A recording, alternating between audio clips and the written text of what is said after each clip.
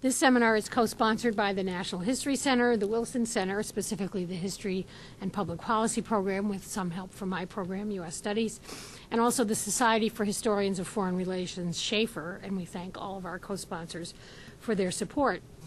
In keeping with the mission of the Wilson Center to facilitate dialogue between scholars and policymakers, this series features scholars whose work provides historical perspective on historical perspectives on international and national affairs. And today's seminar is very much to the point. Katherine Lynch, one of America's leading historians of France and of Europe more generally, focuses her research on the roots of the modern welfare state, roots that she traces back to the private charities and public welfare institutions of the early modern period, and in so doing illuminates the ideologies and practices of the past and prompts us to consider continuities and discontinuities with the present. As a historian, one occasionally finds oneself suffering from what I call research envy, not only because someone else has hit on an important topic or an ingenious approach, but also when they're able to do that research in an, or they're writing in a way that seems thoroughly enjoyable. And Katherine Lynch is someone whose work does that for me. Not only does she grapple with questions about the relationship between individuals, families, welfare, society, and politics, questions that, in my mind, are essential to our understanding of both past and present, but she gets to do it in France. What could be better? Now, I realize it's not all Beaujolais and Chèvre.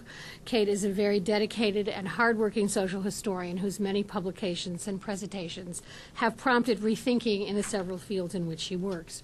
Her research lies at the intersection of family history, historical population studies, and the history of charity and welfare institutions in the European past. By creating a dialogue among these fields, she's been able to develop a rich and supple understanding of early modern and now modern European society a dialogue that breaks down the artificial dichotomy between public and private, indeed thoroughly historicizes it, and in so doing offers many new insights into the ways that people interacted and became interdependent at multiple levels and through multiple institutions in the periods she studies. And as I suggested at the outset, these insights also have important bearings on our understanding of contemporary policies and ways of thinking about social welfare. Kate has published numerous, published numerous books and articles, which you have listed on the uh, bio that you have in front of you, including Family, Class, and Ideology in Early Industrial France, Social Policy in the Working Class Family, 1825 to 1848, and Sources and Methods of Historical Demography. Her latest book, Individuals, Families, and Communities in Europe, 1200 to 1800, a small undertaking, The Urban Foundations of Western Society, shows how, as the size of families and households shrank, the need for greater dependence upon people and institutions outside the family grew, giving rise to a myriad of ch- charitable organizations and other public endeavors, secular as well as religion, religious, that came to constitute what we now call civil society. Among the many important points Kate makes in this book, let me single out just two that the origins of civil society go back much earlier than most scholars, taking their cue from Habermas, tend to think. And second, that the nature of the relationship between charities and their beneficiaries varied considerably and was not always as hierarchical as we might suppose. I could go on extolling the virtue, virtues of this rich and fascinating book as well as the rest of Kate's work, but it's more important that we hear from Kate herself. So, uh, first, let me turn the floor over to our inspirational co coordinator, Roger Louis of the National History Center. Thank you, Sonya. Uh, Kate, we ask each of the members of the seminar to introduce themselves to you. Uh, usually, sometimes anyway, we go beyond this and we ask whether they could comment on books that they've been reading recently. And it occurred to me that it might be interesting for each one to uh, say what their pres- present views on the French Revolution might be. Uh, I'm all ears. But uh, I'm afraid uh, if we were to do this, this wouldn't leave much time for you to actually give your talk. So I uh, would uh, ask. Too early to tell. Too early to tell. Uh, so we'll make an exception, though, with Charlie and let him give his views of the French Revolution as well as introducing himself that was Zhou Enlai, of course. He said it was too early to tell. Uh, I always liked Macaulay and the berry. You know, it tasted great. Then one was violently sick. Then one thought it wasn't so bad. That's enough. I'm Charles Maier. Uh, it's been a long time since uh, Kate and I were at Harvard together, but it's great, great to see, great to see her and hear. What am I supposed to do with Just say who you are and My identify. name's Catherine Norris. I'm a, a, I work on modern French history, and I'm a visiting scholar at Johns Hopkins. Hi, I'm Kimberly Sims. Uh, I actually work on 20th century U.S. and I teach at American University. Hi, I'm Lisa Leff. I'm a French historian at American University. I'm Richard Kuisel, French historian, the BMW Center for German and European Studies at Georgetown. City Sudhir at the American Historical Association. Paul Forman, uh, cultural historian of science at the Smithsonian. Don Wolfensberger, director of the Congress Project here at the Wilson Center. Mel Leffler from the University of Virginia, and I'm a public policy scholar at the Wilson Center this year. James Sang, retired. Stephen Kramer, I'm also at the Wilson Center this year. Uh, Nancy Burlog, I'm with the Historical Office of the Secretary of Defense, but I have studied uh, French history in the past. Mark Fry, I'm uh, also a public affairs scholar here at the Wilson Center. Steve Lipson, a grad student at Catholic University, also from Pittsburgh. Robert Bemis, Foreign Service, retired. Dick Arndt, retired cultural diplomat. Alice Pinault, working at the International um, Cold War International History Project here. Uh, Andrew Bedell, I'm the U.S. Studies intern here at the Wilson Center. Katrin Schultheiss, I'm a French historian at George Washington University. Megan Myers, I'm just finishing my dissertation at Boston College. Jennifer Jones, research assistant for Aaron Miller. And I'm Christian Ostermann here at the Wilson Center. Uh, this is wonderful to have so many uh, French historians. Uh, Kate, rethinking the history of the French welfare state. Thank you so much. Thank you for the opportunity to come before you today to offer my reflections on the long term history of the French welfare state. Is this volume okay? Um, it is a daunting task, of course, uh, this uh, reflection, and one that I take on for a specific uh, reason. I'm currently at work on a project designed to understand the workings of the French poor relief system of the 19th century and eventually its relationship to later developments of the 20th century when the welfare state as we know it was born. I'm studying three different sorts of social problems and their related policy solutions. Uh, first, um, the first one involved the problem of mothers or parents of newborns who found it impossible to raise the child, usually because of poverty. The second uh, problem I'm looking at is um, the one of the local poor who were had homes, were living in actual homes, and the welfare bureaus that were used to aid them in a system of what we refer to now as outdoor relief. These are the so-called bureaux de bienfaisance, uh, local welfare bureaus. These welfare bureaus were funded um, from a mixture of local government subventions and voluntary associations, uh, as voluntary donations, rather. Finally, I'm interested in institutions for the care of the poor and the sick, mainly the elderly, in local hospitals or hospice, um, this representing a form of indoor relief. In this presentation, uh, however, I want to do um, uh, several things. Uh, first, uh, I'm going to argue that this is a particularly interesting moment to be rethinking uh, the history of the French welfare state in long term uh, perspective um, by exploring older and more recent views of it. I'm going to also be looking at um, debates uh, about the growing number of poor of the poor uh, in the midst of plenty and the role of non-state organizations uh, in France to care for them and also new trends in historical scholarship that also make it a good time to rethink um, the welfare state after considering these three kind of in influences uh, on my work, and uh, I'm then going to focus more on my actual research for you. And I'm going to be using in the body of my talk illustrative examples of policy and social problems from the first of the set of uh, problems I referred to uh, meaning uh, the problem of mothers or parents' burden with young children. That I'm going to be drawing my examples from that part of my work. Uh, in addition, uh, toward the end of the talk, I want to make some uh, comparisons between the French uh, French conditions I've been talking about and English uh, poor law system, which I find an extremely interesting comparison in itself. All right, then. One of the points I'm trying to make in my work uh, is the historical depth of different policy commitments uh, over time uh, that we see in working in French history. Here I find the model of so called path dependency uh, potentially quite useful uh, in my work.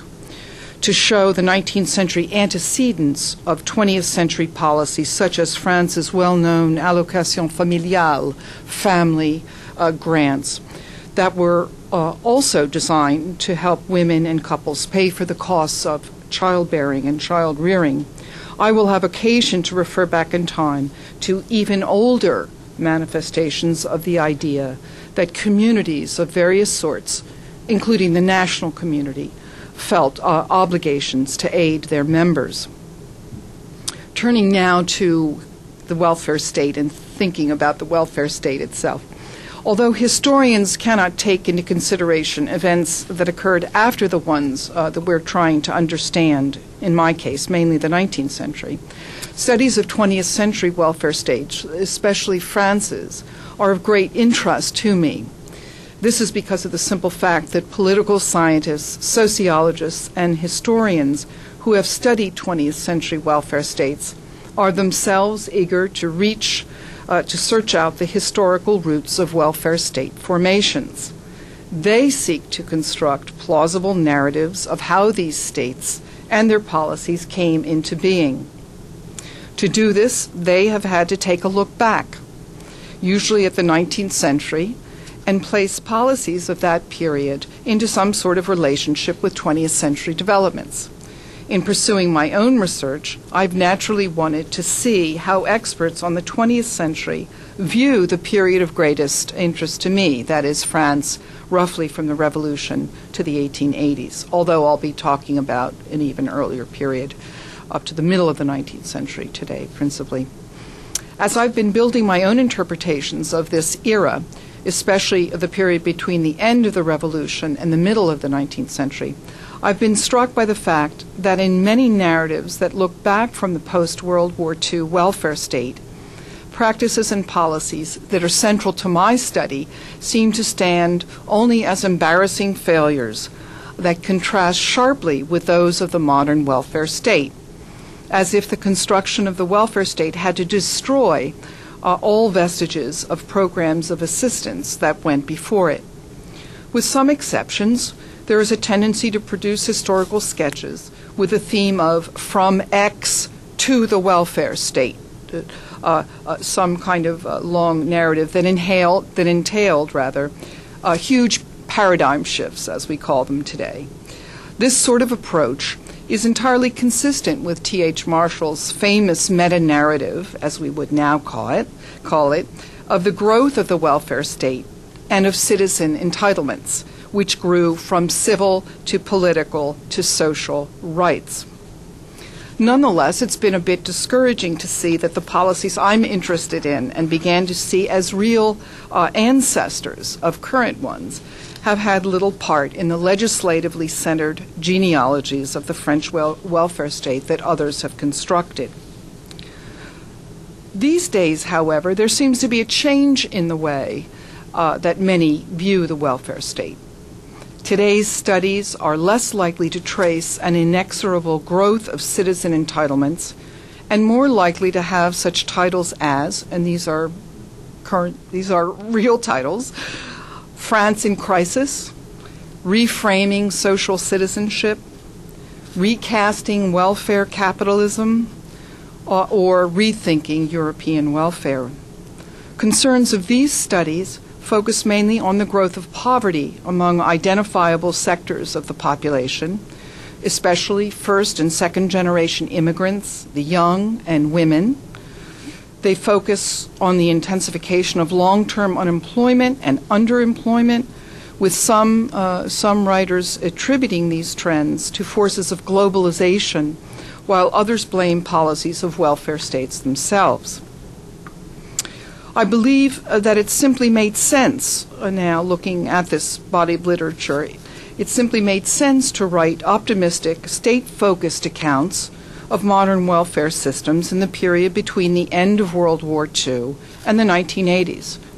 It made sense to focus on contrasts between growing citizen based entitlements to an assured future without perhaps sufficiently acknowledging the contingent dependency of these entitlements on solid economic growth as was the case uh, in France during uh, France's so called Trente Glorieuses, the 30 years between the war and the first uh, oil shock.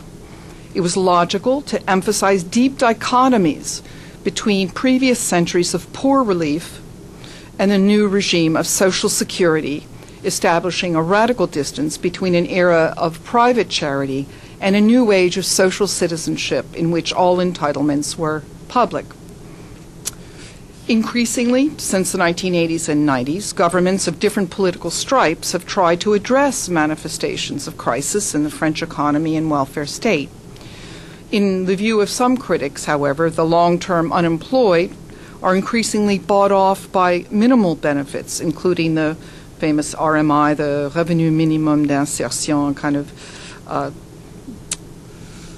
minimum wage, I guess we might term it temporary internships or jobs, and forced to spend time looking for work that does not exist and to accept short term work contracts that lead back mainly to unemployment. The policies seem to be ad hoc ways designed to relieve poverty rather than prevent it. Many commentators have expressed increasing fears that the French welfare system is going down the path toward neoliberalism, allowing market forces a greater role. These policies are viewed by many a sign, as a sign of a movement away from the welfare state's contract to insure citizens against risk and more towards programs to assist them after they had fallen into poverty, a trend away from what Robert Castel has termed the société assurantielle, the assured, insured society. French efforts to reform basic structures of the welfare state, such as pensions, for the more generously entitled have elicited well known waves of public protest by key groups of stakeholders who fear losing their entitlements. Recently, uh, some re- uh, observers of social policy have begun to focus on aspects of French poverty that seem to exist ben- below, beneath and below the normal radar screen of welfare state scholarship. Ethnographic studies, of the lives of France's poor, for example, have suggested the need to shift attention away from focus on exclusively public welfare state policy as it is legislated at the center towards the society in which the policy is implemented. When we do so, we find, they find, a great deal more activity than we might expect focused on relieving poverty and a concomitantly greater presence of non state actors. For example, in a recent article, Alain Clément notes not only that the French so called Restos du Coeur, the restaurants for the poor, had fed nearly 700,000 people, serving a total of more than 75 million meals to the poor in France in the 2005 2006. He adds that this sort of aid was, quote, far from being marginal, and that, quote, its return is increasingly perceived, including by the state, as a complement to public action. This intervention, he writes, is often judged as, quote, more fraternal, more concrete. It, quote, harkens back in a certain way to charitable practices of the past. End quote. He also mentions a whole host of other voluntary associations intimately related now in the relief of the poor in France. This and other studies uh, also reveal the striking ignorance of local officials concerning the lives of the poor who largely escape France's safety net and whose welfare lies more within the purview of voluntary associations that work both alone and in concert sometimes with the French state. one final influence on my thinking today, and that I believe reinforces the notion that it's an opportune time to rethink the welfare state, is um, uh, the growth of historical scholarship since the 1990s, work by historians, that has also led attention away from legislative chambers and state bureaucracy, where current social policy has its final formulation, to the boundaries between state and civil society, where many policies first emerged. The work of Susan Pedersen, for example, demonstrated how important French big business was in the development of systems of worker insurance. We can also cite Paul Dutton's study of the critical role of French mutualists, whose great suspicion of the French state led to efforts to insure themselves against risks of sickness and unemployment. Or the important work uh, more recently of Christine Adams or Sarah Curtis and others on the maternalist efforts of urban women engaged in projects they designed to assist poor, respectable, usually respectable, mothers overburdened with young children. Thus, the current crisis of the French welfare state, a growing acknowledgement of the state's dependence, sometimes growing dependence, some would argue, on voluntary associations as partners, at least, in assisting the poor, and a shifting focus of historical scholarship suggests that this is an opportune time to rethink the genealogy or meta narrative of the French welfare state in a more big tent fashion.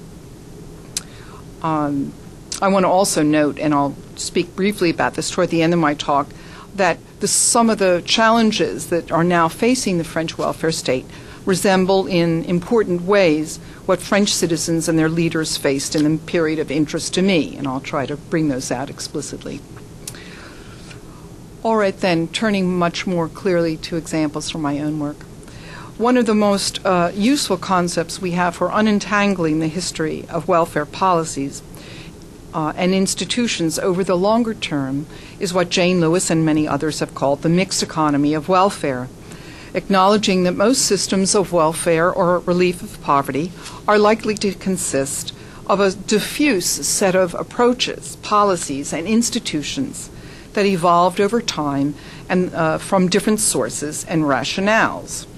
Uh, this approach, uh, as an aside, uh, implicitly suggests that we discard what I consider a very brittle dichotomy between public and private in much of the literature on France, uh, and that this dichotomy uh, crippling and distorting our understanding of the longer term history of French social policy. We know from studies of French uh, current welfare state that it is in fact a hodgepodge of different policies targeting families with children, pensioners, the sick, and secondly, that some of its programs effectively entitle different kinds of people with very different levels of benefits and for different reasons. Commenting on the Juppé reforms of 1995 and their implementation under Jospin, one observer noted that reforms were designed to employ quote, a more pragmatic approach to social protection problems, end quote, and that the system itself, the French welfare system, was in actuality, quote, a patchwork of four models or doctrines universalistic doctrine for health care, vertical redistribution or citizen so- citizenship solidarity for families and poor people, occupational solidarity for pensions and under- underemployment benefits, and a market doctrine for private pensions. End quote. This mixed economy of welfare idea, this fact of the mixed economy of welfare, was also true of 19th century French poor relief policies taken as a whole. The prevention and relief of po- poverty were founded on multiple bases, with programs and institutions that targeted different groups of inhabitants infants, parents, mothers, households, or the elderly. Policies emerged and developed over time within different political regimes. Various models, approaches, and rationales for care underlay these policies, which involved also diverse players who crafted and carried them out. These included both state and civil society actors. Furthermore, important innovations, some of the most progressive innovations, often came from local programs and non state actors. Now, to turn to, in detail, one part of my own research, and that is uh, the programs uh, centering on infants and young children and their parents, especially their mothers, and to trace the antecedents of what I see as the longest enduring part of the French welfare system, and that is the system of what is now called family allocation, based on state commitments to parents of infants and young children and to the children themselves. The central administrative state of the Restoration period, 1814 to 1830, and the July monarchy from 1830 to 1848, hoped to prevent uh, family poverty and save the lives of infants as best as they could. They did this by granting entitlements to parents or single mothers that allowed those parents or single mothers to deposit infants in regional foundling homes, in most instances anonymously. The French state also accepted the responsibility of supporting another category of older, so called abandoned children, so called, whose parents had died uh, or absconded, and whom relatives would or could not care for. Funding for the programs came uh, mainly through regional, that is, departmental and local or communal governments, as well as local hospitals that were financed by municipal budgets and voluntary donations. This 19th century commitment from what uh, can be considered as two versions, that is, the Restoration and the July Monarchy, of a relatively liberal state formation, at least in uh, welfare terms. Itself, this policy itself had historical roots in the absolute monarchy of the 17th century. Systems of aid to infants, and by extension their mothers or fathers, originated uh, from a combination of royal paternal or royal paternalistic and religious obligations of the kings of France. The paternal concern of the French kings was encouraged, and actual help to infants and children carried out uh, by local programs of militant uh, counter Reformation activists, especially maternalistically minded women. Such a model of assistance to poor infants and children and their mothers or families under the old regime was not, however, the only one that was based upon ideas of obligation and entitlements.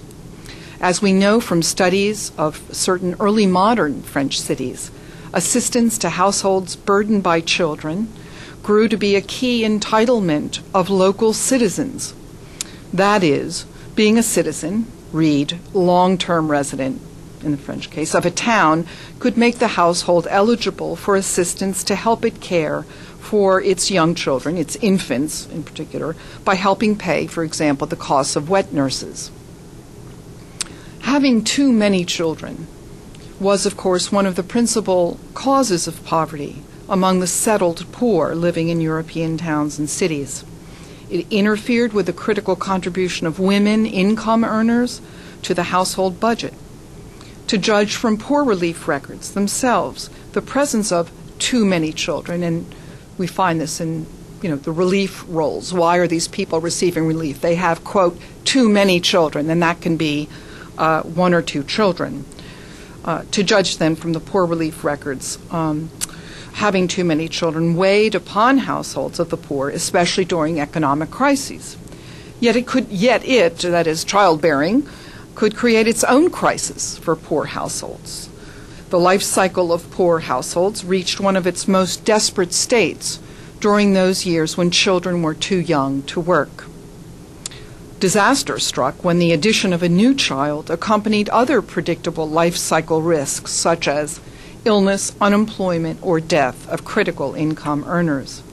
Here, as always, lone women were the most vulnerable that is, women bearing children uh, either out of wedlock or widowed.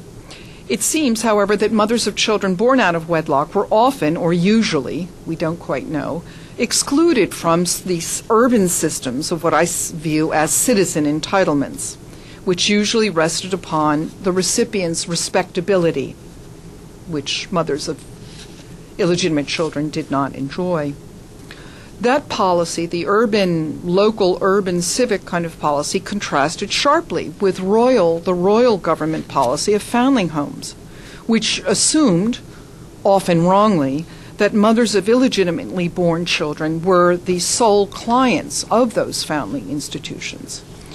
Thus, a basic commitment to the protection of infants received in foundling homes or cared for out of local civic funds had two quite different ideological foundations, as well as different tools for addressing this, this problem.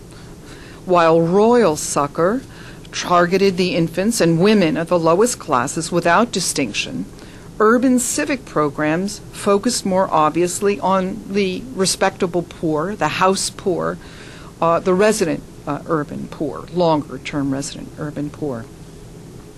The association between aid to respectable poor women and children and local civic activism also informed the work of private or voluntary groups of women working in civil society in the civil society sector in a number of French towns and cities beginning in the 17th century. As detailed most recently in the work of Christine Adams and Sarah Curtis, these efforts grew in the 18th century and extended their reach into many provincial cities, as well as Paris, obviously, in the 19th century. Like the urban civic programs I've just been describing of the early modern period, the work of these uh, maternalist charities cut against the grain of the preferred statist solution to the infant care problem, which, as I noted, collected foundlings in large urban foundling institutions before farming the children out to rural wet nurses, if they survived, which was highly unlikely. Instead, these local voluntary groups of women sought to aid children by encouraging their mothers to breastfeed and raise their own infants at home. They, the activists, maternalist activists, hoped to avoid the abandonment of children to foundling homes. Bourgeois and upper class women, organized into maternal charity societies, drew on their own money, on voluntary subscriptions, and eventually state subventions uh, for the relief of poor women after childbirth, immediately after childbirth, contributing money, clothing, and a number of other things to them. As I've noted in my own work, which Sonya referred to, thank you, it was this local civic model approach to the outdoor relief of poor parents of newborns that early leaders of the French revolutionary government in the years 1790 and 91 favored as they tried to make good on their promise to set up a kind of welfare state based on what we now call citizen entitlements. We learn from the magisterial studies of Catherine, uh, Catherine Duprat and other historians that the famous uh, Comité de Mendicité, the Welfare Committee of the French National Constituent Assembly, in the years 1789 to 91 applauded the participation of philanthropically or even charitably minded citizens in the relief of the poor and gladly supported their efforts, at least until the money ran out uh, and a new kind of revolutionary leadership came to power. The newer Republican leadership, uh, beginning 1792, uh, added its own twist to the older civic policy that had aided respectable women in childbirth. Yet, uh, they also drew an increasingly sharp line between public and private forms of assistance that we still see today, not only in government policy, but in the minds of French people. Second, this new uh, revolutionary uh, leadership, Jacobin leadership, increasingly integrated relief policy into larger concerns for national defense. The departure of menfolk for the Revolutionary Wars, in particular, and the discursive appeal of women's contribution to the Jacobin Republic uh, through childbearing and raising good revolutionary citizens made outdoor relief, that is, home based uh, aid, to women a high priority Soldiers were often reluctant to depart for the war front without assurance that their wives or girlfriends with young children, uh, infants or young children, would be well cared for by the revolutionary state. As historians since Crane Brinton have observed, one important feature of this revolutionary assistance plan for infants and their mothers was the way it contributed to building a new model of the respectable and therefore deserving mother by declaring poor French children in general as wards of the state, enfants de la patrie, uh, Republican policy entitled, gave entitlements to not only previous categories of respectable women, read legitimately married women, in childbirth, but rather extended its care, at least in principle, as the French say, to all poor women, including those who were unmarried. Records of the period show that Revolutionary era mayors of communes all over France supported this kind of relief. Women who had borne the children of revolutionary soldiers were made discursively respectable by the receipt of a form of assistance formerly reserved for women actually counted as among the respectable, at least in early modern society. Entitlement from the revolutionary state itself conferred citizenship and merit on these women at the same time. To move once again into the 19th century to trace the impacts of multiple approaches to the relief of uh, infants and their mothers or families, we find that things did not move in a clear or linear fashion. A more modern absolutist ruler of the French state, that would be the Emperor Napoleon, found his own reasons to reaffirm the state's welfare contract with poor and defenseless children and to revert clearly to the older statist institutions. In legislation of 1911, the Napoleonic state required the construction of institutions uh, in all départements of France for the reception of foundlings, where, whereas previously it had been uh, it had not been obligatory in older old regime provinces. It now became an absolute uh, obligation for each uh, département to have a foundling uh, institution. Napoleon's stated commitment to this policy of support for infants was based on old regime precedents as well as neo mercantilist or neonatalist raison d'etat. Uh, he hoped that male families could be pressed into military service, always the pragmatist was he in uh, welfare matters. Uh, yet, uh, as we approach the 1830s and 1840s, we find paradoxically that the greatest support for m- maintaining these foundling institutions, this what I've called statist uh, solution, came principally from social Catholics who believed that foundling homes and the provision of anonymous abandonment was a safeguard against infanticide. In contrast, by the 1830s and 40s, agents of the central states, such as uh, departmental prefects, sub prefects, the head of the regional administrations, as well as hospital administrators, were becoming increasingly more focused on budgets that were being sorely stretched by the huge number of children received in foundling homes.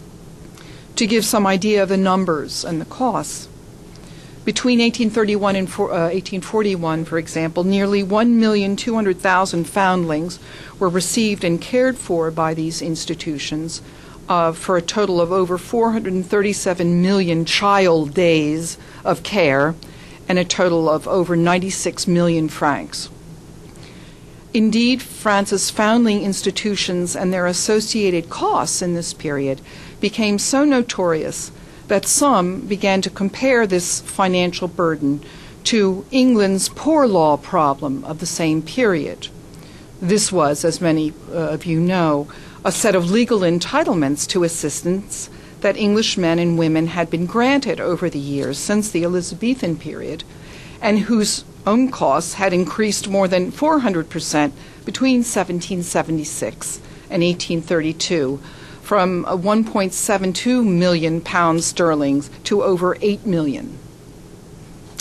French state civil servants who wanted to abolish foundling institutions, and with them the policy of anonymous abandonment, had other very good reasons for doing so. Not only were the costs skyrocketing, but the mortality of the infants was also catastrophically high for a number of reasons we can discuss.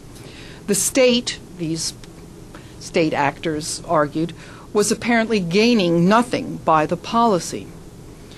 Despite rearguard actions and social Catholics, Catholics' warnings of epidemics of infanticide, state officials began to revise their policy gradually reverting to the civic model that I have sketched out that existed in early modern uh, times, which consisted of assistance to women, including single mothers, in their homes, which was less costly and found gradually to be much more conserving of infant life. What is the significance of this sort of excursion I've been taking us on into the twists and turns of policies towards infants and their mothers? How does a deeper historical consideration of these policies inform our understanding, perhaps, of more recent developments? First and most importantly, it is clear that aid to infants and children and their mothers slash families as a separate category of entitled persons has a very long history in France. Part of the history I've explored, I suggest, helps to illuminate a question often asked about the seeming anomaly of the French welfare state. That although it generally conforms to Esping-Andersen's model of the, quote, conservative corporatist type of welfare state, it also has a policy of family allocations that seems not to conform to the so called male breadwinner model, model typical of this and other kinds of welfare state systems. As long ago as the 17th century, I have argued, both royal, statist, and local civic uh, approaches to helping infants implicitly acknowledged that it was the mothers, not the fathers, of poor infants that should be the main targets of uh, relief, either through the large indoor relief institutions like foundling homes or outdoor relief programs that early modern civic authorities, then revolutionary leaders, and 19th century liberal Malthusian administrators preferred. Certainly, successive policies for infants and their mothers, up to the present, have been infused with different notions of entitlement and merit and respectability.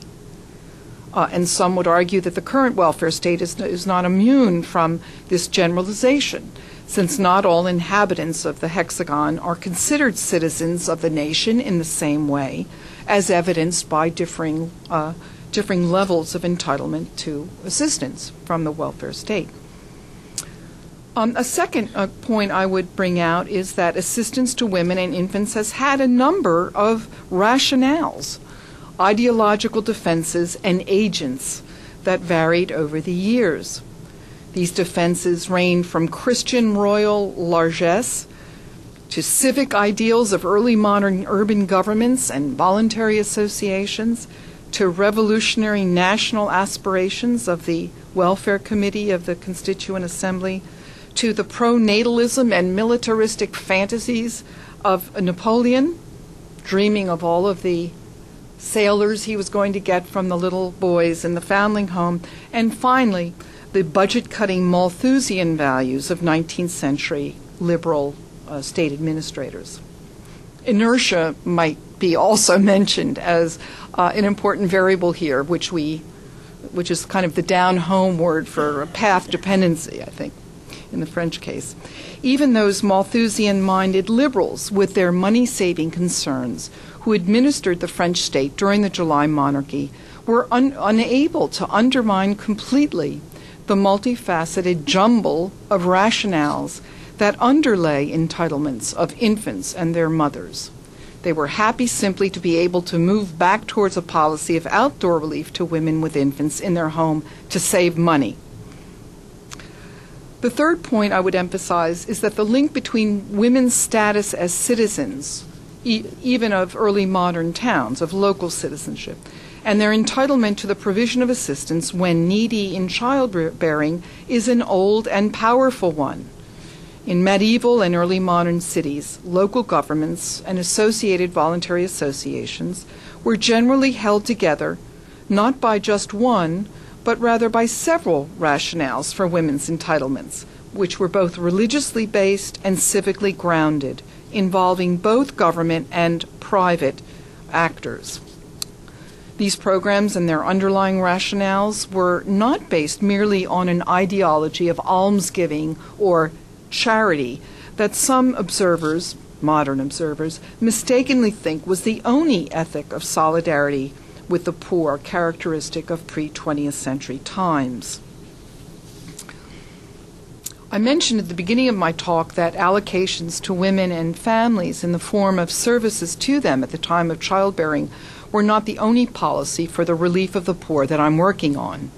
Others, including the story of the wel- local welfare bureaus and hospital uh, assistance to the poor, were designed to face, together with family uh, institutions, some of the same sort of social and economic problems that face the welfare state today here I'll just enter now into a bit of comparative dialogue between uh, past and present, and then England and France to, to wrap up my talk. Two uh, resemblances uh, between uh, the past and the present strike me as especially obvious. First, between the end of the Revolution and the middle of the 19th century, French economic downturns originated in agricultural or subsistence crisis and problems. Yet some of France's economic woes through mid, the mid 19th century stemmed, at least in part, from what today we would term globalization. French industry and French workers in certain key sectors of the economy, such as textile production, were challenged by competition with cheaper goods produced elsewhere and whose importation led to structural unemployment and the wholesale extinction of entire occupational groups. Second, Local economic crises exposed, then as now, problems of migration and migrants. In the 19th century, it was a more occurrence of internal rather than external migration that caught observers' attention and exposed the fact that residents and newcomers had very different levels of what we call entitlements today.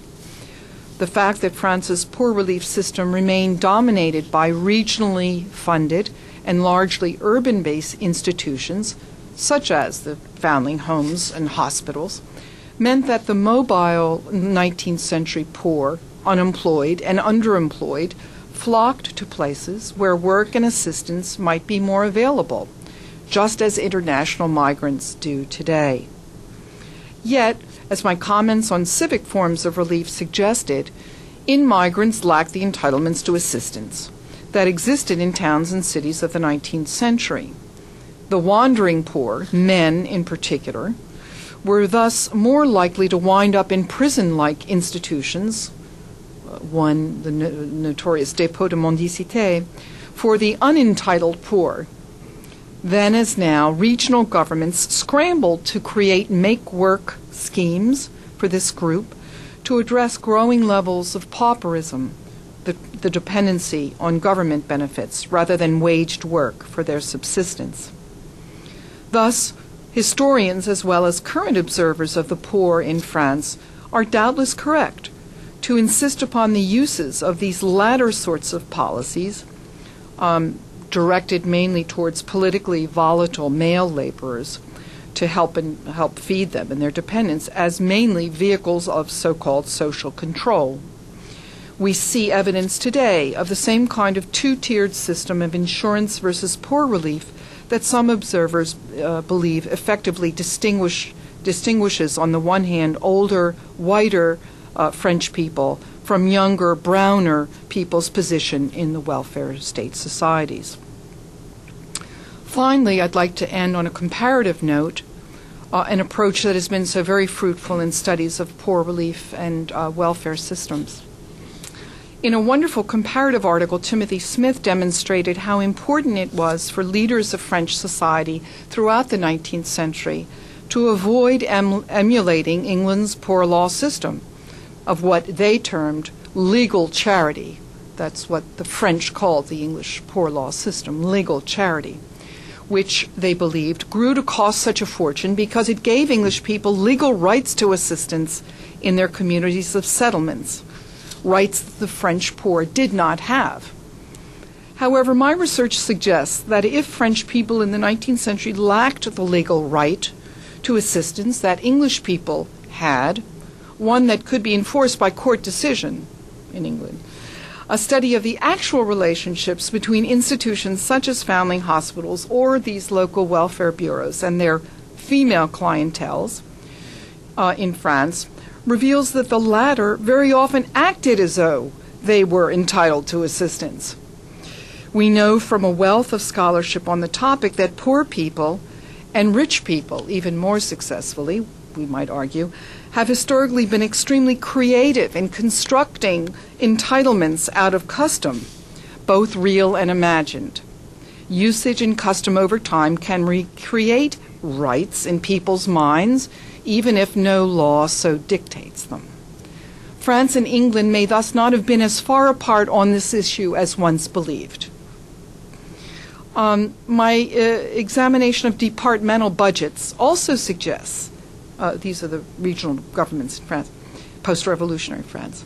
My examination of departmental budgets also suggests that the French and English systems of relief to the poor may not have been as disparate as some have argued, uh, with, on the one hand, England's poor law uh, system being viewed as requiring funding from ratepayers and in contrast, the French one being based mainly on private charity and poor relief. In fact, many uh, French towns, as early as the 16th and 17th century, routinely levied taxes on the affluent to pay for the relief of their fellow citizens on the basis of both Christian love and civic ideals of solidarity. Um, this continued into the 19th century. French communes and départements were required to share the costs of funding a variety of institutions for the prevention and relief of the poor, including foundling services, through subventions and taxes that they levied on themselves, quite unhappily, I may add. There are several other interesting approaches suggested by work on England that I hope to develop to enhance my own work. I believe that we will need to take more account of what Steve King in his work on the English Poor Laws, refers to as different regional cultures of relief within uh, the territory he's studying, England, that is. Since the pioneering work of Olwen Hufton, we have known how differentially spread were basic welfare institutions across the map of France.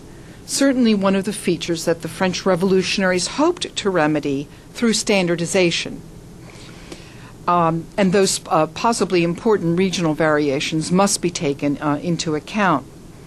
Finally, from the French side, recent work on the vibrancy of certain modern cities' innovative uh, systems of civic relief. Uh, I'm thinking of uh, uh, Marek's work on Rouen or Paul Dutton on Lyon, will need to be considered when trying to account for persi- the persisting fundamental relationships between local citizenship, and entitlements to assistance. This sort of approach seems especially fruitful today when the devolution of responsibility for the French welfare state is redounding increasingly to its own regions. Thank you very much.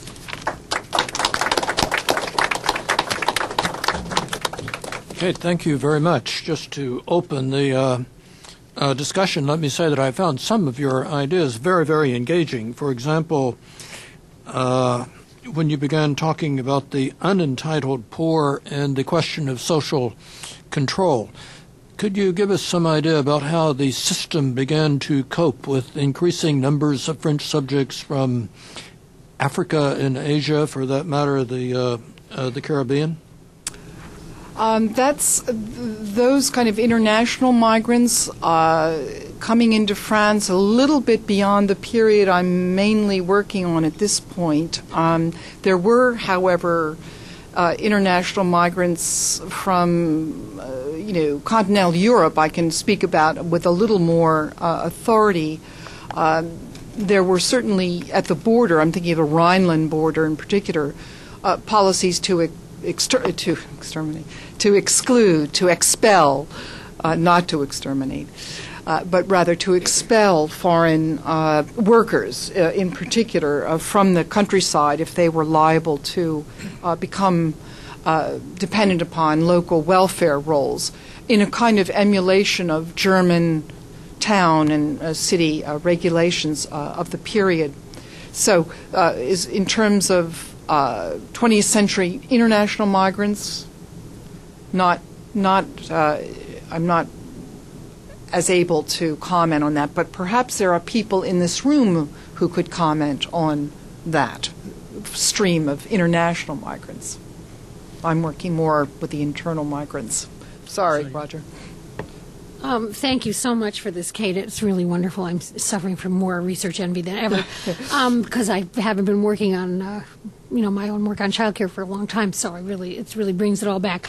Um, my question has to do with. Um, you mentioned Olwen Hufton and her work on the economy of ma- I mean, the Makeshift. economy of makeshift, and then you talked about this sort of carving entitlements out of um, custom. I wonder if you could say a little bit more about that, um, and also the, the question of agency. How much agency did the poor have in all of this? And do you see? Would you say that? That carving entitlement out of custom is sort of part of the economy of makeshift. Is it different? I mean, sort of, what's the relationship there? Yes, um, I think some of the best examples. Uh, I'll take one example from from the women uh, abandoning uh, their infants in uh, at foundling homes.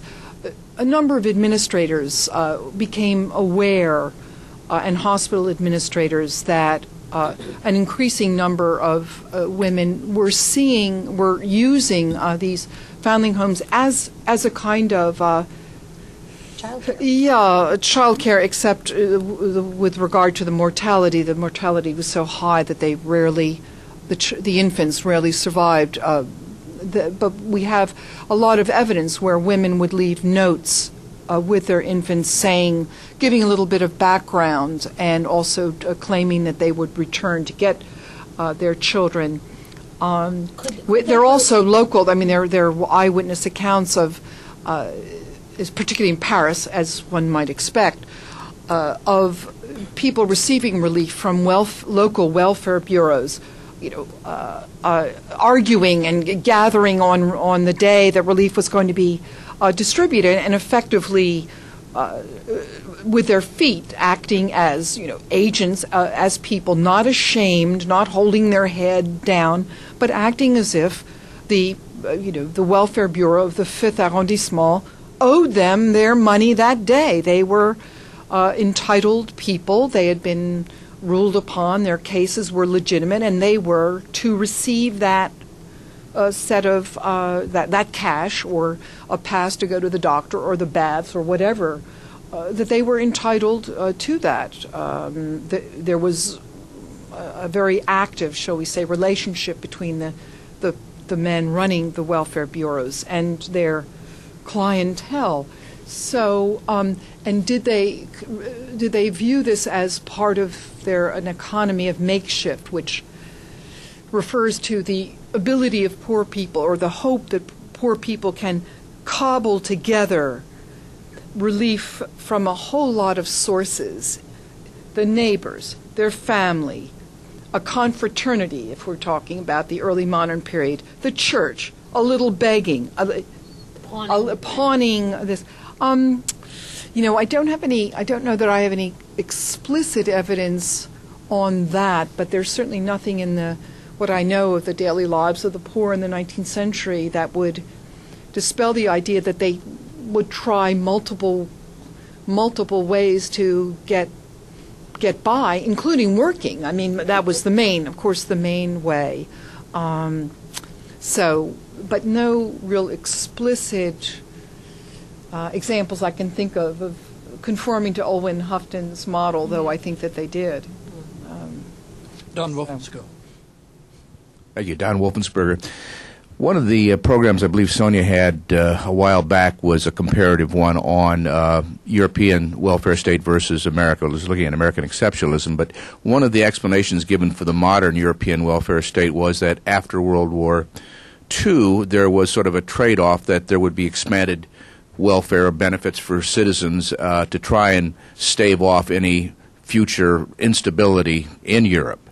And I had never heard that before, but looking back to your antecedents, you mentioned the the linkage between the wars that were going on and taking care of the, the women and the children while the men were off fighting. Do you Yes. see that linkage uh, and looking at the expansion of the welfare state in Europe after World, World War II that people sort of expected this to stay stay quiet and calm and, and so on to have expanded benefits?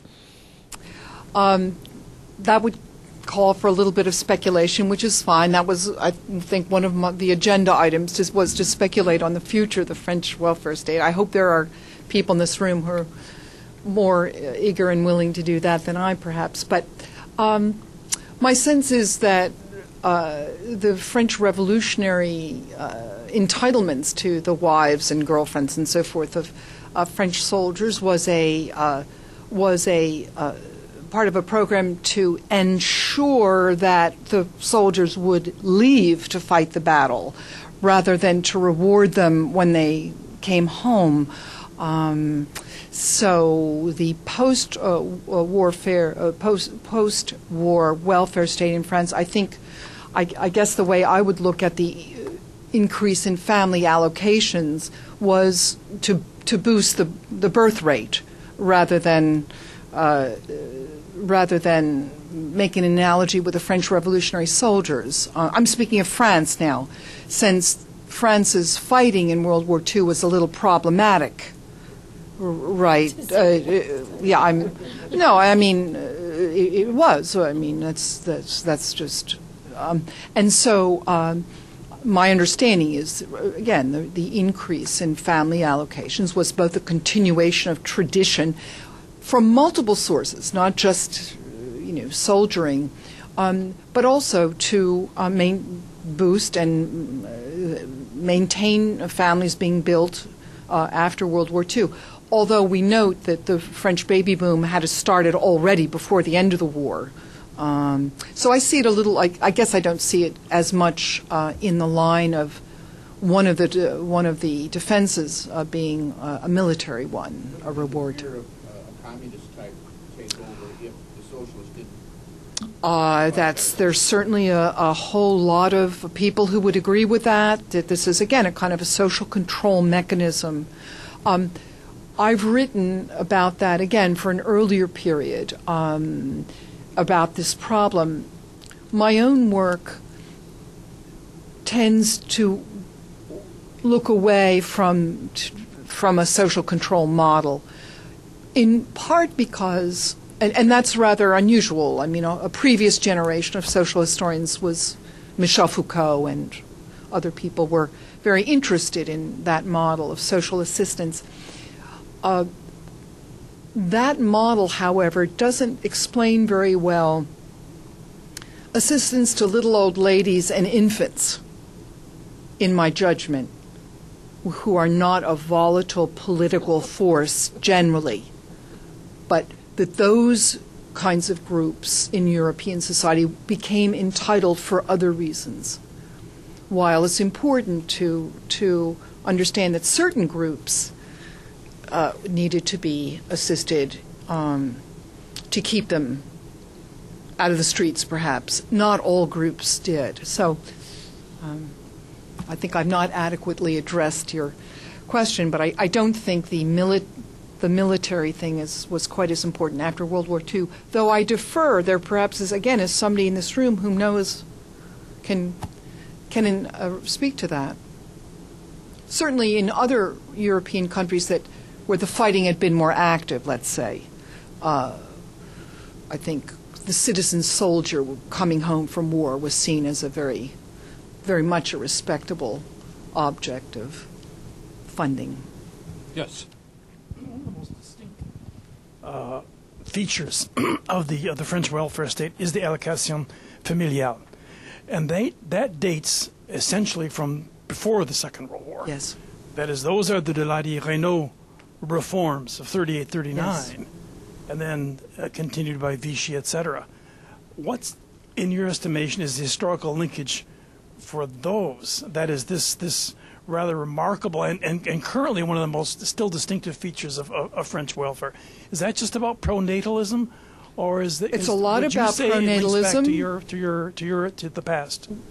It's a lot about pronatalism, absolutely. Um, the Code de la Famille of 1939, um, uh, very much uh, about uh, pronatalism. Um, uh, and it links up, I mean, that, that story links up, I, I would say, it piles on as yet another way that a different political regime very adroitly makes its own rationale for why we should continue, why should we should have these policies that that aid women in childbirth. Uh, it, it's a new, as new regimes come into power, they manufacture their own ideas about entitlement and why we should give certain kinds of benefits, and that those ideas may be quite different from previous regimes, but oddly enough, the the targeted groups have stayed remarkably the same. That's what I'm really what I'm arguing. So yes, uh, inventing pronatalism uh, or reinventing pronatalism. That's sure. That's that's a good rationale for having uh, uh, these policies. Certainly, the French revolutionaries, as good civic Frenchmen, also were pro-natalist and and not in the same way as 20th century French statesmen, but the, the, there's an undercurrent of pronatalism until we get to the the Malthusian years of the 1830s and 40s when. Uh, when uh, prefects and so forth didn't want any more babies from the poor. Uh, so the natalist argument kind of goes underground, but you know resurfaces. So uh, I guess that's uh, what I would say. New, new rationale, new ideology, but same concerns and same objects, same targets of policy. Yeah, I actually wanted to dig a little bit further into some of that stuff because as a, we ask people to reintroduce themselves. Oh, sorry. My name's Catherine Norris, and I work on the Third Republic and Yes. on things having to do with uh, older, slightly older children and their education and sort Yes, of the future great. citizenship stuff, which I think is really certainly important for the the social control aspect of things. Mhm. Although I agree with you about not wanting to overstress that. In any case, what was very interesting to me about hearing your talk is that.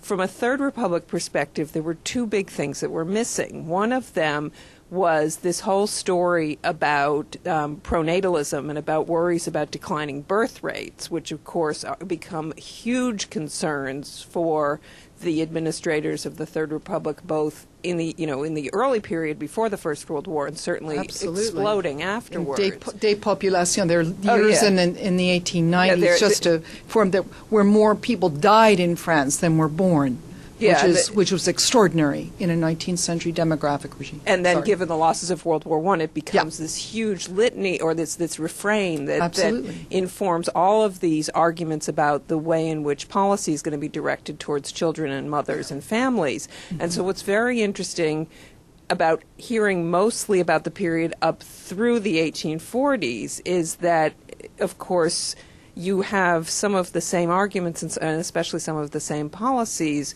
with very different. Uh, I mean, the 1830s and 40s stuff about not wanting more kids from the poor is really, you know, striking when you get to what happens in the 1880s.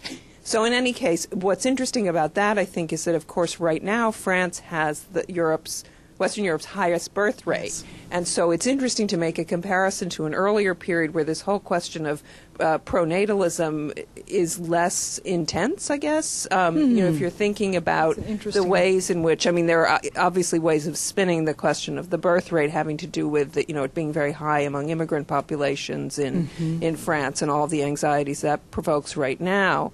But the other thing that was that you expect to hear a great deal of when talking about the period from like the 1870s up through the Second World War is anti-clericalism and the, Yes. the extent to which the Republican government that comes into power is very much saying we're doing things that are new. We're worried about declining birth rates new. and we're worried about kicking out the church. They're monopolizing things. This is terrible for the health of the population. Absolutely. And so to hear your discussion of all of these continuities without a discussion of this rhetoric of anti-clericalism or pronatalism is just fascinating.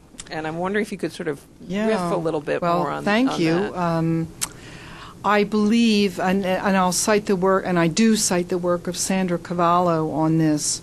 You know, made what may be a very obvious point, but sometimes we forget obvious points. And what her work she's shown, or, or and or argued, is that all political regimes, in order to legitimate themselves, or, or in the process of le- legitimating themselves, at least in the European past over the long term, invent a way of helping the poor, articulating their obligations to the poor, and using policies and ideologies to knit together the, the political arrangements they're seeking to have. And they do it in different ways. Kings do it differently than the leaders of civic governments in the European past, uh, in, in part by entitling to differential relief different categories of people. Um, and so, not surprisingly, the French Third Republic, a very embattled regime, not not that any French regime, is politi- you know, there there seems to be a little path dependency on that issue too, but a particularly vividly uh, embattled regime. Uh, sure, they they had to reinvent everything new, they said, and. Um, uh, yeah, and actually, in a very interesting uh, recent ar- uh, article, Kimberly Morgan has uh, argued very interestingly about the importance of the religious variable in the history of the French welfare state. Um, so, uh, yes, so it's important, it became important gradually for the leaders of the Third Republic to articulate some view of their responsibilities to the poor. They didn't do such a great job on that assignment. Yes, they're still cheap, and that's imp- that's important. That's kind of cheese pairing uh, regime. But you know, we start getting medical assistance to the rural. You know, let's entitle uh, a group of people that haven't had many benefits before, and that that worked out pretty well. Um, but again, under the Third Republic, uh, I cited the work of um, Yannick Marec on uh, Rouen, the huge uh, book, and uh, Paul Dutton's work on Lyon. A lot of innovative kind of civic local relief programs were under the Third Republic. So it wasn't just the, the leaders at the top, but these innovations uh, at the at the city level sometimes uh, trying to take care of. Yeah, Charlie's been Charlie. trying to. Questions. Uh, I mean, one question was this. I, you know, I, I was.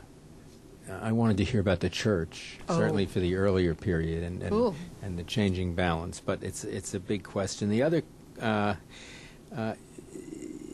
The other question, I guess, is you know we're both formed somewhat in the laboratoire of David Landes, and Oh, uh, I, Absolutely. you know, certain numbers. I guess I, I would have liked. You like to more numbers. I like more numbers. You know, do how when do the if these uh, these foundling homes are known as centers of mortality? Uh, I mean, what is the uh, what's the dilemma of turning kids over to them, and are they really and and families themselves though are they uh, have high mortality in this sense? And when does this condition change, and what does that what does that do about uh, thinking about abandonment or or, or putting them babysitting or whatever you're going to do for a while daycare?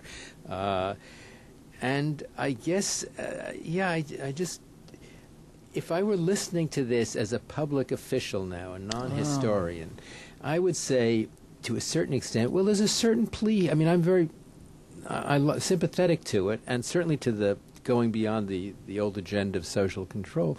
Uh, but there's a certain you know, would I couldn't I not turn then to my uh, constituents or others and say, look, you know, Professor Lynch has showed us that uh, in fact uh, non-statist regimes uh, do pretty well, and so uh, don't get so excited about rolling back the welfare state at this time. Uh, would I be? Uh, is that totally unjust? And yeah, but. th- You have to be, you have to have it close. Yeah. Okay, well, let me, uh, let me take uh, those um, point by point, and you can remind me when I forget the first two. Um, uh, Rolling back the welfare state. Um, I guess what, uh, what strike, what I'm critical of in uh, a number of uh, works that I cited, or the, the current of scholarship that tries to act as if the welfare state is hatched out of a whole new, or brought on a whole new thing, uh, in France, is this, what I see as a very uh, problematic uh, distinction between public and private. And I know it's a very important distinction for in the law and the minds of many French people, but it seems to me that uh, this big tent history of the French welfare state is not a plea, certainly not by me, for the rolling back of state action. It's to say, might it ever happen in France that, that one could get beyond the public-private, the religious, non-religious uh, discourse, and really think about a mixed economy of welfare, maybe with a larger, or acknowledging the increasing role of voluntary organizations, not as some kind of embarrassing residual feature of the welfare state, but actually a point of pride. I mean, French revolutionaries thought it was a source of pride when citizens, you know, uh, uh, contributed and wanted to volunteer and uh, become involved. It's you know. David Cameron's pride, obviously, today. Yeah, I know, but but again, it's always it's coming out always as a sinister plot, a- and again, just about. But it's uh, a you know, source of pride, right? Only if it's effective. And, Absolutely. and, and to what extent do you Study the efficacy uh, of, of these initiatives. Absolutely. Well, it's also between targeted and universal. You know, it's whether it's stigmatized, I mean, private tends to be stigmatizing, et cetera. But, but, and it's often religious, and, and I can, I can absolutely talk about the religious variable, though not necessarily about the church. So, um, uh, I, I'm just, uh, so I am not uh, here as a spokesperson to advocate rolling back the welfare state. I'm simply, uh, I'm simply stating that understanding the, the history, the antecedents uh, of the welfare state, we have to be a little more inclusive. That that accounts that kind of start from a secular Third Republic point are just not very accurate, and that a lot of uh, different uh, ideas about civic mobilization and caring for one's community, you know, happened there uh, uh, as well. It wasn't just uh, state actors who were involved. So uh, th- I'm really now making a plea that I'm a historian. Okay, I'm ple- I'm, I'm, I'm making I'm, I'm pulling out the historian card, and uh, so anyway, I don't know. Does that at all speak to?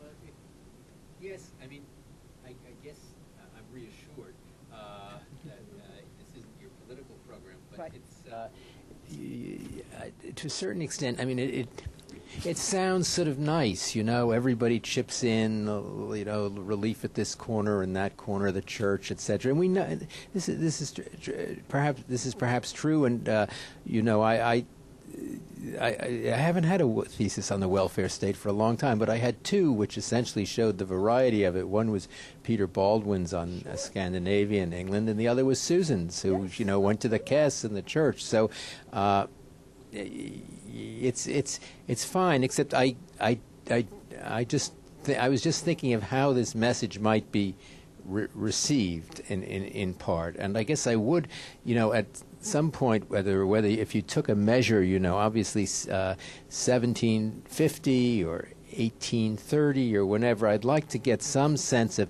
the shifting proportions of sources of aid, perhaps whether it's family or it's the mairie, the arrondissement, or the or the parish. I mean, I'm thinking of you know Bonnie Smith's old work in this and Saint Vincent Paul and other things, and so I had a sense of the the movement from sector to sector as time went time went on, and that would of course hold for the Third Republic.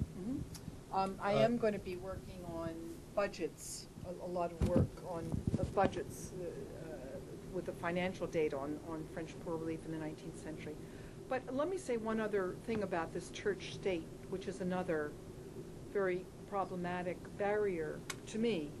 Uh, that uh, the the problem there is that a lot of the activists uh, in this drama, it's not the church acting it's people with religious views. It's lay people acting. It's not the church, um, and uh, that that's important. Uh, that's an important distinction uh, to me. Um, and, uh, and and and these are the people acting today uh, uh, that are mobilized. And again, I'm not. So I'm not, I'm not suggesting that voluntary relief associations are going to be any substitute for the French welfare state. I'm, I'm asking, one, that the, the uh, combination of state and uh, citizen activism be acknowledged, that, that there was more than from church to state transition, that there is this mixed economy of welfare, uh, and that at certain points in time that was applauded. Why must it be a zero-sum game? Why cannot a, a stable Republican, you know, uh, regime in France today now be more forthcoming about perhaps even a greater need for uh, citizen involvement since the devolution to the regions and localities? It's happened. It's happening now in france. It's uh, the responsibility especially for the poorest of the poor. It's there. It, but i'm saying it's off the radar screen Uh, Catherine Norris. Yeah, just one quick addendum to that, and then I'm going to shut up. Um, one of the things that I think you're bringing out, and that gets um, that certainly I'm finding in some peculiar similarities between people you'd expect on the right and people you would expect on the you know sort of anarcho-syndicalist left of the early 20th century. One of the things to keep in mind is, of course, that public and private becomes kind of a mask for um, centralized and local, and the extent to which people want to get some kind of localized control as a way of, you know, differentiating regions or whatever. This is true in uh, at the turn of the 20th century, and it certainly comes out in what you've been saying, that if we just sort of take distinctions as public and private or church and state, we're missing a whole bunch of ways in which what we're looking at is kind of centralized top down stuff versus localized volunteer things. And I think that kind of putting that, you know, if we look at this from an American perspective, we see very different meanings in some of these things. Absolutely. And so. the, the public-private thing is just com- completely differently conceived of uh, on this uh, on this side of the Atlantic. But but again, to, to get to your point more about efficacy, um, I, would you like to re-articulate your question and then see if I can respond to it? I, I I don't know that I have any necessarily satisfactory measures of efficacy. Uh, certainly.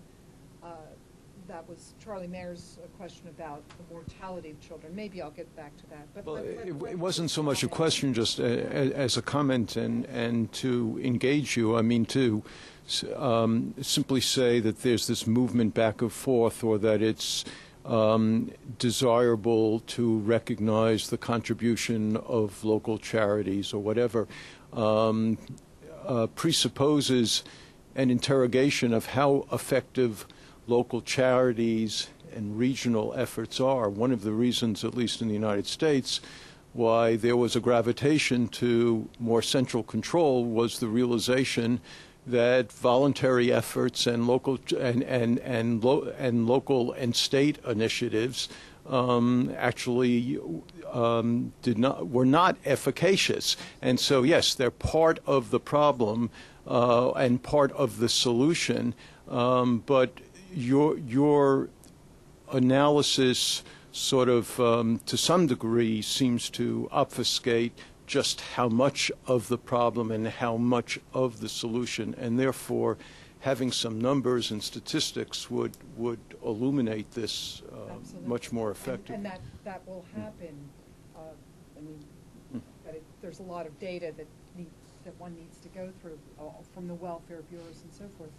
But uh, also, I would simply respond that, yes, the insufficiency of voluntary uh, uh, or civic local systems of relief obviously are there, and the insufficiencies of state, you know, state regimes is also under consideration now as well, because of the levels of inequality, that it's not just the amount of money being expended, but who's getting it in France today uh, and a real concern uh, for uh, for the idea of those citizens who are more citizens than other citizens. And if you said, well, yeah, okay, that's true, but voluntary associations aren't necessarily going to help that. Well, uh, sure, that's true, but um, mobilized communities from the grassroots can often do interesting things for their members as well to remedy some of the top-down inequalities that exist. That's all I, I would say. But also, to some extent, those very local philanthropic and charitable efforts are also the most vulnerable to economic fluctuations, uh, even more so than the state, so to speak. You're absolutely true, as evidenced by insurance, you know, workers' insurance schemes and so forth. You, you know, and I don't mean schemes in a critical way, but you're absolutely right. Uh, we're just about out of time. Uh, James Chong, Sonya, but we especially want to hear from, give the opportunity from our historians of France who are here. Yes. I'm, I have a, a, a very uh, brief but two-part question, and I'm going to go way out on a limb here and, and ask about maybe deconstructing the term welfare a little bit and, and talk about the pathology, ca- the potential for pathology embedded in that term. And I, uh, I look at 20th century American rural voluntary organizations who had a very privileged relationship to um, state agencies as well as educational institutions they were heavily involved in what I call improvement projects, but they were doing this at a time when the rural population was pathologized as degenerative um, and highly problematic for American citizenry. Um, the kinds of projects they did were, um, you know, health care projects, child care projects, having um, hot lunches and milk for farm children who couldn't uh, supposedly afford them. But, but a lot of that got constructed by the particular way that pr- primarily experts pathologize that. And so that sort of got internalized. So I don't, I'm not sure whether, and I, whether I want to see that as, should I see that as partly a welfare type of activity? it, once once we put sort of a proactivist or an agency, as as Sonya referred to early, then it somehow becomes not welfare. Yet, even though some of the the um, problems that the activity is being directed at is is is is, is, is the same or similar. And just uh, quickly after that. Um, for the 20th century American state and even late 19th, and as well as the European state in the late 19th century, expertise and professions are very important in um, defining um, problems, defining how policies um, should be enacted, um, defining what initiatives should look like. And I wondered if you could speak to that at all in terms of the role of that in in Um, on the welfare uh, idea, uh, all, I guess the only thing I would say in the brief time we have is that it's another term that means such different things in France and in the United States. When we speak of a welfare state in Europe, uh, it can be construed as the opposite of some of the implications in our uh, in this country. Uh, you know, a welfare state is one where citizens have honorable entitlements, uh, you know, from the state uh, that they deserve, and uh, because of their status and so forth. Um, whereas in this country, uh, you're you were asking whether you should consider some of your programs as welfare. I think in the United States it has a, a, a more negative connotation as part of a uh, national system that grew up alongside of Social Security, which was the honorable part of the entitlements, and welfare was more for uh, surely the originally the, the deserving poor, but uh, but a quite different sort of system. So I, I think it's difficult to for a historian of France to to look at a set of American programs and wonder whether it's correct to call them welfare. I, I, I would be a little troubled by that. In, in terms of the, the notion of expertise, certainly uh, physicians uh, and uh, what we might call government experts were in on a lot of these, uh, certainly the critique of family institutions and but, the, but there's a lot of, uh, again, uh, unpaid labor that goes into this liberal uh, kind of uh, poor relief program of the 19th century. Unpaid uh, women who visit the poor, uh, un, uh, doctors uh, attached to welfare bureaus that get rather modest salaries. But there is, particularly, I would say, medical, medical expertise, and sometimes uh, kind of social sciences, social sciences, social scientists in the making, documenting, documenting some of these programs statistically. Um, but mainly health, health professionals surely were uh, involved uh, after after the revolution. Kate, we have reached the uh, limit of our time for discussion, but we would like to carry on uh, talking about these issues over a glass of wine, and we want to thank you for this very stimulating Well, thank you. discussion. Thank you very much.